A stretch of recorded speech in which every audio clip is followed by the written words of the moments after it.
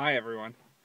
So I want to start doing some videos on eating wildly cheap.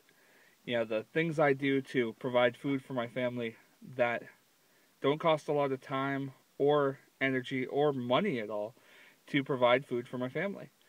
So this will be one part of several videos doing that. And my target today, and I had some success, are these. They're small, but they are what's called a rainbow smelt. I'm trying to get a good picture on the video. They are a bait fish. They're a school fish. They um, spawn in a lot of the brooks up here in northern Vermont during the early spring, but we can catch them in a lot of the lakes through the ice. I came out here to uh, Salem Pond in northern Vermont and spent Know, maybe 10 minutes drilling holes trying to find where I could find smelt, and then spent another 15 minutes catching a dozen of them. And that was just for this project.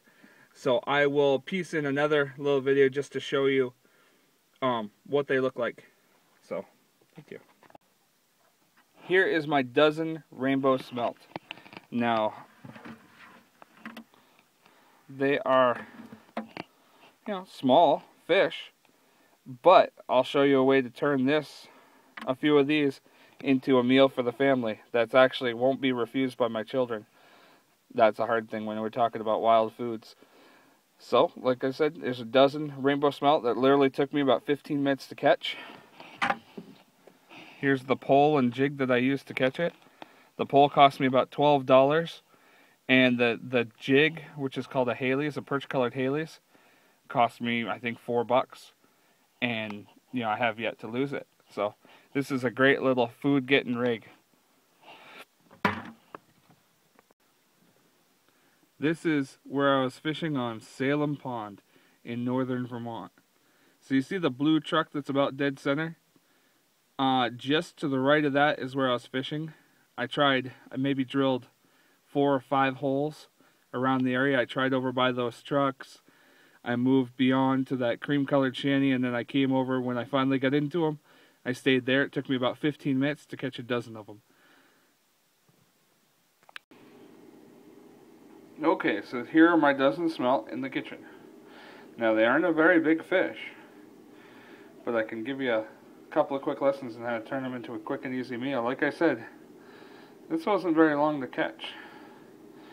So this is a simplified process for one. You slice up the belly, you cut across the back of the head. This allows you to grab the head and pull almost all the guts out in one shot. Now it's not a huge thing to do one fish, but having a little system in place works great when you have 60 or 80 of these to do in a night. So I have a tendency to belly, head put it down.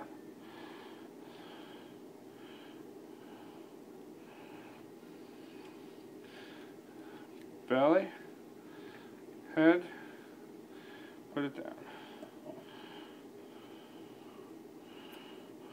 Belly, head,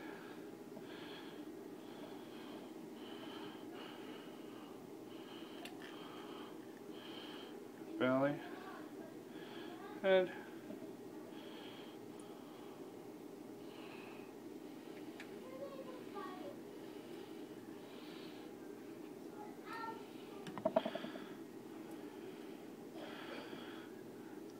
I'll clean these up and I'll show you the next step of the process.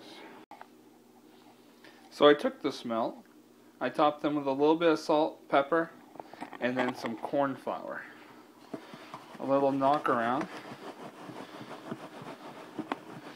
to coat them. And that's what I'm looking for to be able to put in my FryDaddy.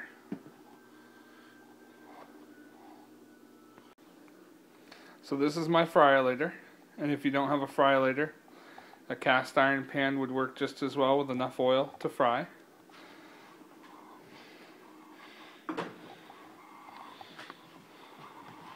These are those smelt, lightly breaded in corn flour, salt, and pepper. Straight up into the oil.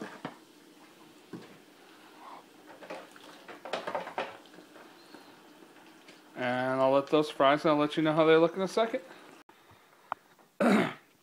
so here is that plate of deep fried smelt. Now it's not a ton of food, but if you caught a few more of those, you could do that as the meat portion on your plate. Now, a few pan fried smelt with some rice and maybe a salad or a bit of uh, cooked greens would make a pretty good meal, and make anyone happy. So, as a taste tester, I have my son Saul. Saul, how old are you? Yeah. Now, do you like pan fried smelt? No. Come on now. Can I get you to eat one of these, please?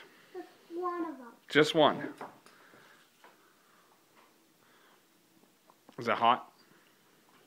A little bit. Does it taste good? Don't throw them or hit.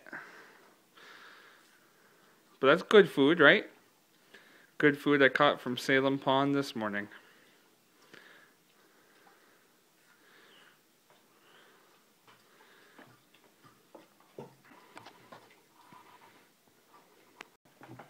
So what's good for the goose is also good for the gander. These are the pan fried, I mean the deep fried smelt with a little bit of corn flour, salt and pepper.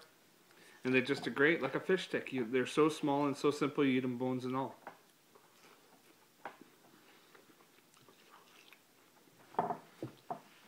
Like I said, coupled with some greens or something of that nature can make a very good meal and there's almost no cost. And that's the whole point. So thank you very much for watching. Uh, more to follow.